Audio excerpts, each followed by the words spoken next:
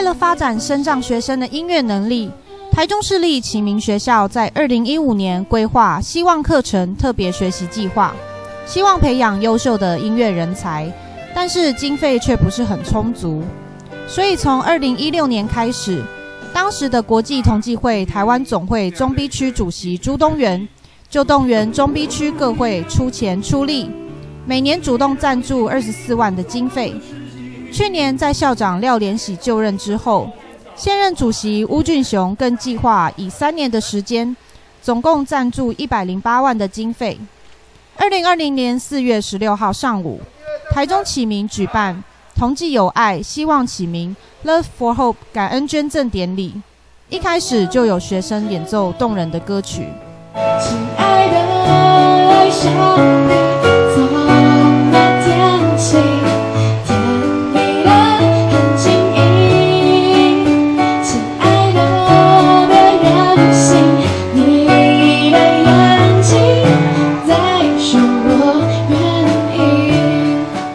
非常感谢我们呃国际同济会、台湾总会中立区，还有相关的这个亚太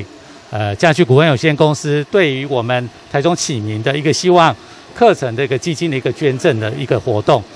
哦，感谢的话很多啊，但是有一句话一定要说，就是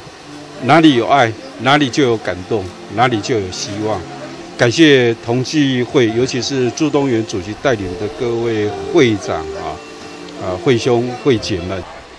国际同济会中 B 区捐助的善款，让恩典竖笛手林佩珍、小小鼓手吕月俊等二十多名同学音乐专长课程顺利开课。二零一七一八年扩大赞助将近五十位同学的课程费用，还有实现绘画、围棋、第二外语等的希望和梦想。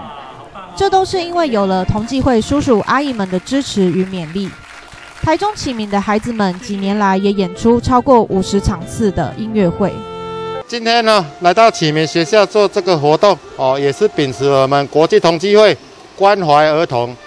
无远佛界的精神哦，让这个视障学生哈有一个圆梦的机会哦。那我们希望借这个抛砖引玉，来让我们社会大众哦，让我们了解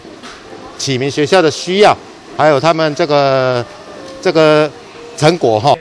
台中市教育局副局长方炳坤表示，非常感谢国际同济会在现在新冠肺炎疫情的时候，还关怀儿童送爱到启明，希望透过政府和民间团体一起来关心跟协助特殊教育工作，实现师生各种的梦想，让我们周遭的世界更加幸福、温暖跟美好。